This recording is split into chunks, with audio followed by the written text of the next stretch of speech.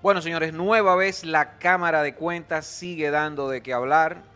Ahora hay una pugna claramente política.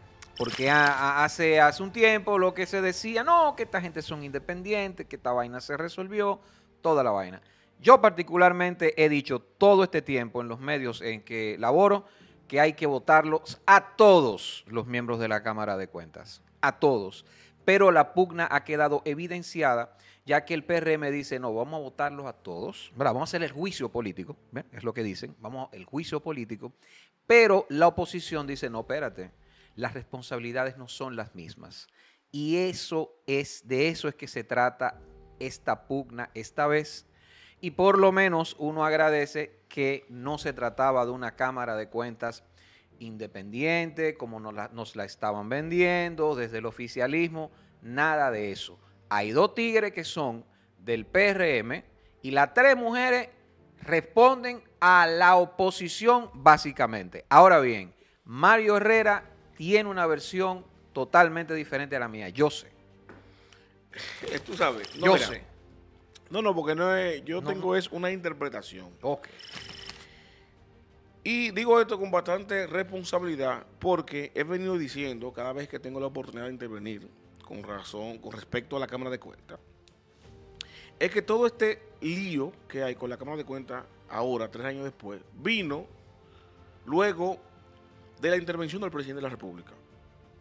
Y yo particularmente entiendo que esto empieza eh, con la actuación del presidente que sobrepasó, entiendo yo, ¿verdad?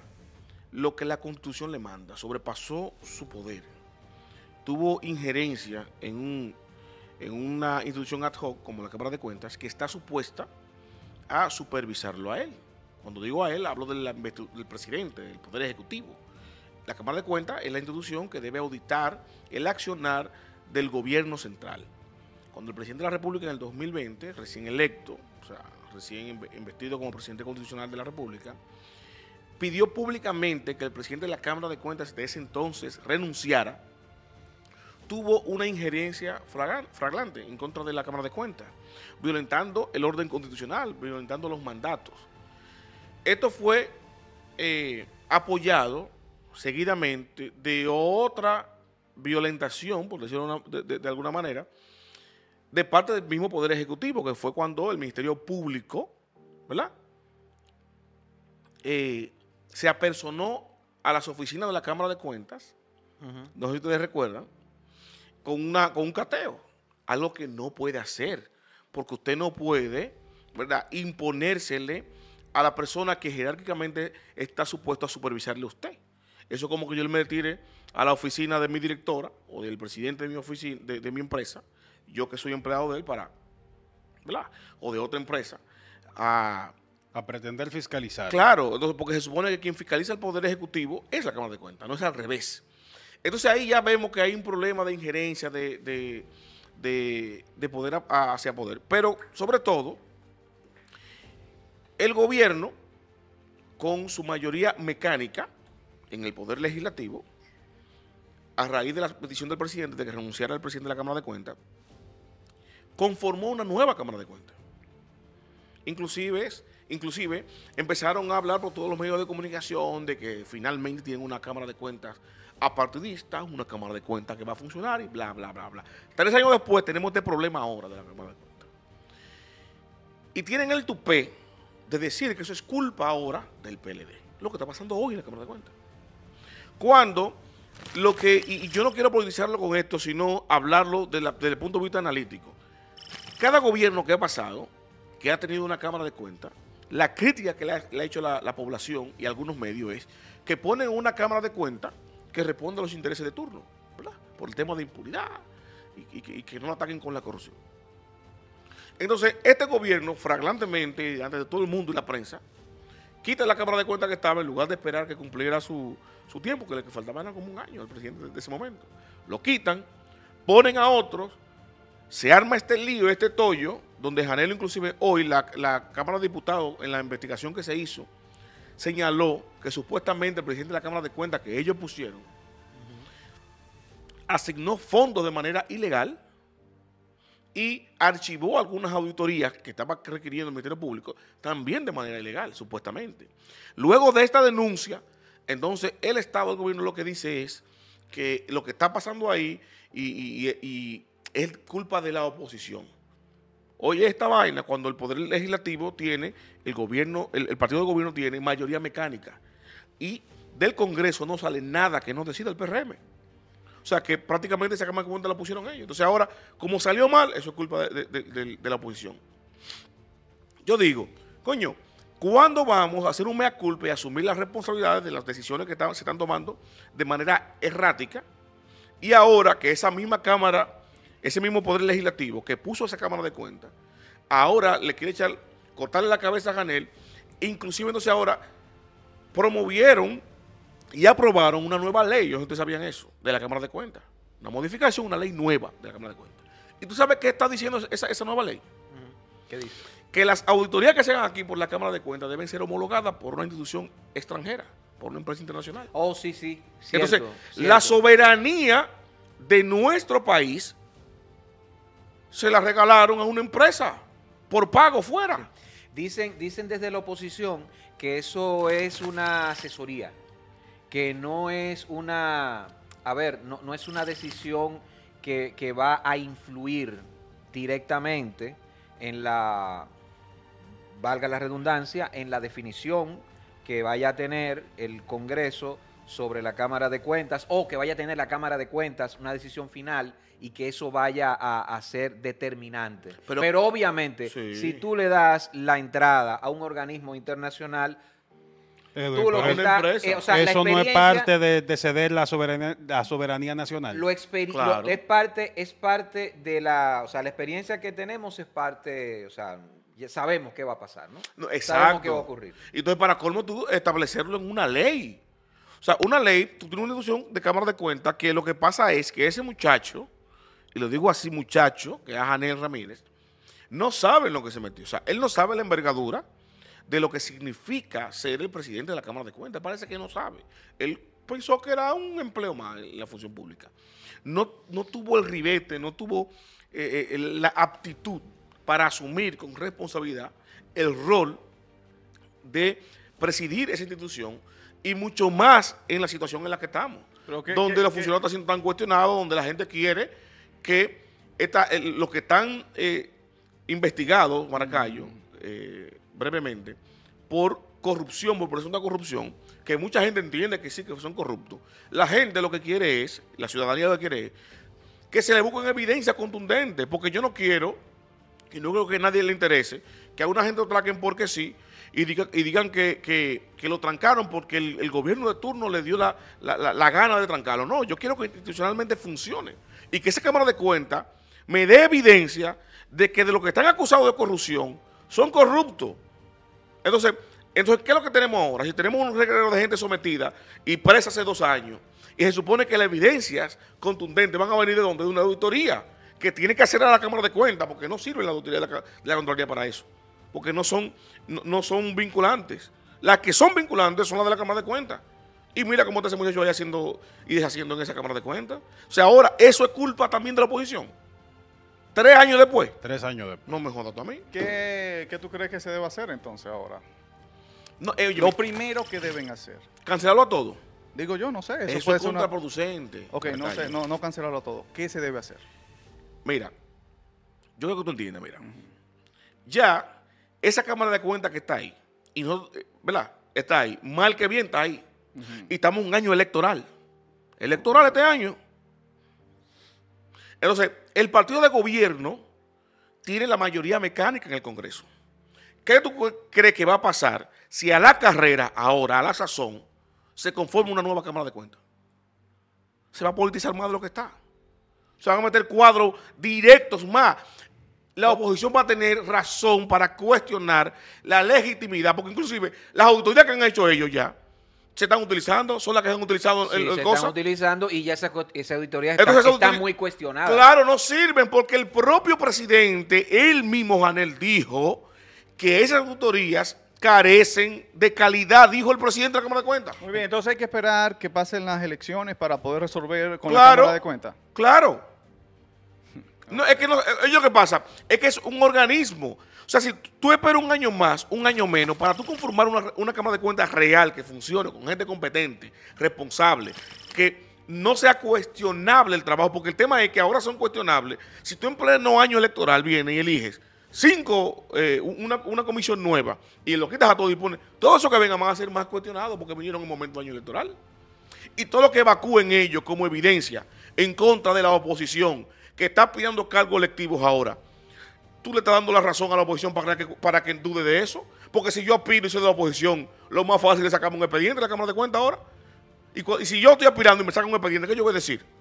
Lo están haciendo porque estoy aspirando. para que no aspire, me están amedrentando. Pero tú crees que deben de irse en tiempos normales, en una época normal, esta gente que están en descrédito, obviamente. No, pero por, supuesto. Por, por, acción unos, por omisión otros, porque no vamos a decir que todos operan como lo ha hecho Janel Ramírez. No todas las miembros que están ahí operan como Janel Ramírez, pero se van. Pero han hecho. sí, pero ¿por qué ahora? Porque ese escándalo no es de ahora. O sea, ese escándalo no tiene un mes. No, yo lo sé. que no ¿Tiene, dos años? Yo sé que no tiene un mes. Pero, pero ¿Por qué ahora? Pero lo que quiero decir, que eso va a implicar lo que tú estás diciendo, que es lo que va a pasar, porque el PRM lo que está diciendo esta vaina, pero no va a pasar nada, ¿eh?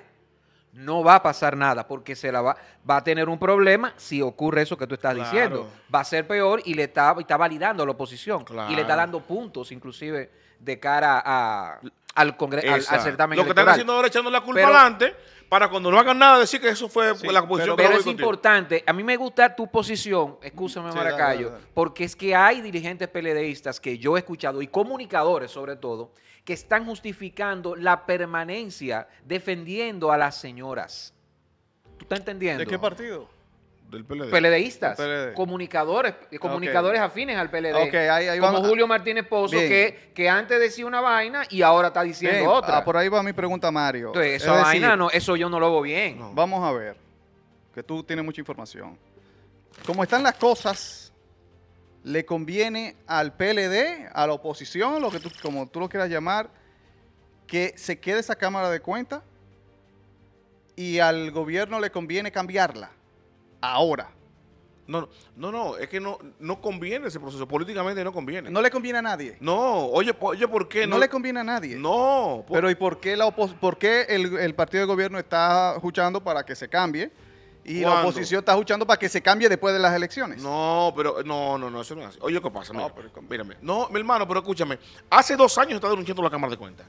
Hace dos años está pidiendo juicio político para la Cámara de Cuentas quien tiene la potestad mecánica en voto en el Poder Legislativo para que eso pase o no, ¿quién es? El PRM, el, gobierno. Y si en dos años no ha pasado, pues el gobierno que no ha querido. Por más que diga, lo que pasa es que mediáticamente están diciendo, ¿qué está diciendo ahora mediáticamente? El gobierno y los comunicadores de gobierno. Sí, eh, queremos sacar la Cámara de Cuentas. Hay que hacer uso político, pero la oposición no está boicoteando. ¿Cuándo ha tenido la fuerza la oposición para parar algo que quiere el gobierno en el Congreso? No puede.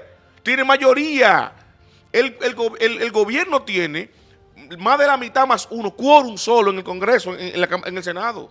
Cuando Iván Lorenzo propuso desde el Senado interpretar la Cámara de Cuentas, votaron todo en contra, incluyendo a Faride, que Faride, o sea, Lorenzo propuso lo mismo que propuso Faride con la Cámara pasada. Y Faride votó en contra. Ok, Mario, entonces al gobierno no, no le conviene eh, cambiar la Cámara. No, esa misma es la de ellos. Y ellos no quieren cambiarla tampoco. No. Entonces la oposición, ¿qué es lo que quiere? Que la cambien. Pero no ahora, ya ahora no. Ah, ahora, no. no. pero que no es, no es la oposición, es el gobierno, porque eso no está en manos de la, de la oposición, Maracayo. Lo que está cuestionando la oposición ahora es, primero, esa, esa ley, porque eso no, era, eso no era lo pertinente, hacer una ley para entregarle la función de la Cámara de Cuentas a una empresa extranjera. Eso no era lo competente. Lo competente es que funcione la Cámara de Cuentas. Y este desorden que está en la Cámara de Cuentas lo trajo el partido de gobierno, poniendo esa Cámara de Cuentas. Entonces ahora que eso ha explotado en la cara al gobierno, están diciendo que todo lo que ha pasado es culpa de la oposición. ¿Tú me entiendes? Entonces han aguardado hasta ahora, hasta el año electoral, para proponerse primero meter la ley que ya metieron y cambiar en, modo flash por urgencia la Cámara de Cuentas en pleno año electoral. Oye, yo no estoy entendiendo y mi pregunta es fácil. Dime. ¿Cómo están las situaciones ahora que todo lo que tú has explicado? Bien. Ahora mismo, ¿qué es lo que le conviene al partido de gobierno? Ahora, ¿que cambiar la Cámara de Cuentas o dejarla? Por favor, dejarla o cambiarla. Ahora, ahora, ahora, en tiempo de elecciones. ¿Qué es lo que le conviene? ¿Al partido de gobierno? Sí. Cambiarla. Cambiarla, ¿verdad? Claro. ¿Y a la oposición? ¿El qué? ¿Qué es lo que le conviene? Pero si al gobierno le conviene cambiar, la oposición no Bien. le va a convenir. Entonces la oposición, la oposición ha dado declaraciones y, y ha dado una postura de que no se puede cambiar ahora, que hay que esperar, lo que tú estás diciendo que hay que esperar que pasen las elecciones. Algunos sí lo han dicho. Algunos, lo han dicho. pero no es oficial. Sí, pero son. El son PLD no, no se ha, no se ha pronunciado oficialmente es que- de eso. No, es que no, porque es que tú, tú tienes que entender que eso es político. Sí, está bien, Mario. Pero yo estoy bien, respondiendo. Está bien. Pero es que eso es político. El. PLD no puede cometer el error de venir como organización Está bien, yo te y pregunto a ti. en un tollo que ellos no hicieron. Pero yo te pregunto a ti como politólogo, Dime. el PLD entonces, Analista político, no. el PLD entonces le conviene, Ay, Nuria. le conviene que lo cambien después de las elecciones. Y aquí está, ahora está el tranquilo. cómo va cuando le toca, después, para el, para el año 2000, después que, cuando cumpla la gestión, para hacer el debido proceso. No que lo metan ahora mecánicamente. Ya. Y de modo flash. ¿Por qué? Y yo te lo he dicho 20 mil veces. O sea, si tú vienes y, y- y armas un lío, ¿verdad? Aquí en, en este estudio, y la solución, aunque resuelva el lío momentáneo, tú vas a solucionar haciendo otro lío más pequeño. Pero el caso es que lo que está es insostenible. ¿Por, tengo, ¿Por qué tengo yo que venir a meterme al lío? Di que resolvértelo a ti. Para que después cuando quede mal vengan y me caigan a mí. No sé si tú me entiendes. O sea, esto es un lío. Este es un lío. La Cámara de Cuentas ahora. Porque la anterior la puso el PLD. ¿Y qué dijeron la oposición? Esa Cámara de Cuentas responde al partido de gobierno, el PLD en ese momento. Solo puso Danilo para, para, para aupar la impunidad de toda la corrupción que estaban haciendo. Es una Cámara de Cuentas que respondía a los intereses del partido de gobierno. ¿Qué era ¿Qué así, dijo el presidente de la República, recién electo, Luis Abinader? El presidente de la Cámara de Cuentas debería renunciar. Una irresponsabilidad desde mi punto de vista. Porque usted está cuestionando a un, a un poder paralelo que está para supervisar a usted. Entonces debió, usted debió esperar que lo que le faltaba era un año y haga el debido proceso. Cambio, le busque poner una gente, ¿verdad? No, pero le entraron porque están en la ola. La ola de cambio, que somos los más serios, que somos los más transparentes. Entonces, cuando pone la nueva Cámara de Cuentas, la propia senadora Farid Raful pone una serie de estudios diciendo, por primera vez tenemos una Cámara de Cuentas con perfiles que van a funcionar, apartidista, el cambio que prometimos. Este lío explota hace dos años, se está cuestionando esa Cámara de Cuentas, principalmente a su presidente, que está actuando, óyeme, desde lo funcional, inclusive hasta la relación personal, un desorden, y eso se la ha dado larga. Pasó un año y nada, pasa otro año y nada. Ahora le explota en la cara, ahora quieren resolverlo ahora, de modo flash, en año electoral, y están diciendo que es culpa del PLD, coño, pero esa Cámara de Cuentas la pusieron ustedes. Son ustedes que tienen que resolver su lío. Como se comió el marrón el PLD de la Cámara pa- pasada, este tienen que comérselo ustedes. Entonces, sería, es injusto que Maracayo, por ejemplo, le exija al PLD que venga y fije una posición. No, que la fije el PRM, que puso esa Cámara de Cuentas, y que la fije el gobierno, y que resuelva su lío. Ahora bien, lo sensato, señores, es que estos tigres se vayan todos en la Cámara de Cuentas y esas mujeres también. Y tú sabes qué? Abolir esa maldita vaina. La Cámara de Cuentas nunca ha servido para nada. No, no. Y a lo sumo, como dice don José Israel Cuello, que le creo y tiene años diciéndolo, es más, desde que yo lo escucho, desde que ten- y tengo muchos años escuchándolo, esa vaina a lo sumo es una, una, una institución que cumple la misma función que la o que hace en la práctica lo mismo que la Contraloría General de la República. Ay, no, ay, no, ay, no. Eh, y yo, yo estoy de acuerdo, porque es que nunca ha hecho nada. Esto es La Quinta Pata, Mario Herrera, Delio Medina, Edwin Cruz, José Maracayo. Recuerden suscribirse, darle like, comentar. eh, también no me gusta, lo que quieran, campanita, eh, todo eso.